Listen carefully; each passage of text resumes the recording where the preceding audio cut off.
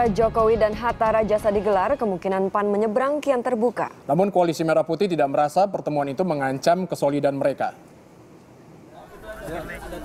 Sinyal Partai Amanat Nasional akan merapat ke kubu Jokowi JK kian kuat. Namun hingga selasa pagi, Ketua Umum PAN masih malu-malu menyatakan partainya akan bergabung dalam pemerintahan mendatang.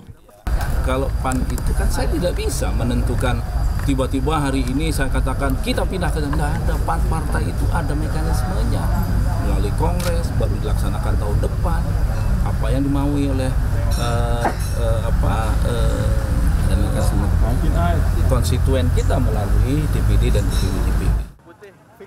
Kendati sempat menyatakan tengah menjajaki peluang koalisi dengan PAN, Jokowi mengaku pertemuannya dengan Hatta semalam sekedar silaturahmi. Ia juga bungkam soal tindak lanjut penjajakan tersebut silaturahmi dan Pak Hatta mengucapkan selamat kepada saya dan Pak JK. Udah.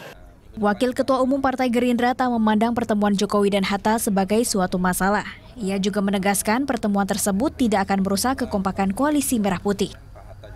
Uh, kalau komunikasi politik itu setiap orang uh, bisa uh, apa namanya berbeda-beda levelnya tergantung kedekatan dan lain-lain. Tapi yang paling penting adalah sikap politik. Yang kita hargai adalah sikap politik itu. Jadi kalau komunikasi bisa saja orang ketemu di mana, fleksibel komunikasi silaturahmi, saya kira tidak ada masalah.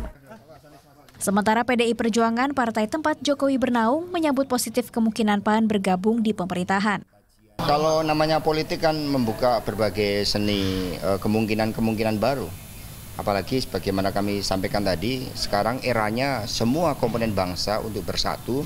Pasca Mahkamah Konstitusi menolak gugatan Prabowo Hatta, Koalisi Merah Putih diduga retak. Beberapa kader partai penyokong koalisi bermanuver ke kubu sebelah. Namun hingga saat ini, belum ada partai anggota Koalisi Merah Putih yang resmi menyeberang. Tim Liputan melaporkan untuk NET.